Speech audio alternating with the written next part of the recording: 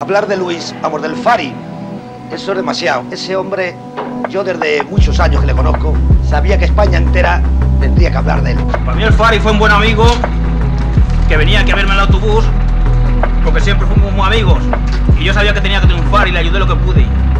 Porque era un muchacho que, cantaba para rabiar y nadie había que lo apoyara. En todos sitios que íbamos, todos sitios nos daban calabazas. Las casas grabadoras no lo querían coger. Entonces yo tuve que coger con las perras que tenía y pagarle un disco pirata por ahí, que se llegaron a pagar algunos discos de aquellos, los gitanos pagaban hasta 3.000 pesetas.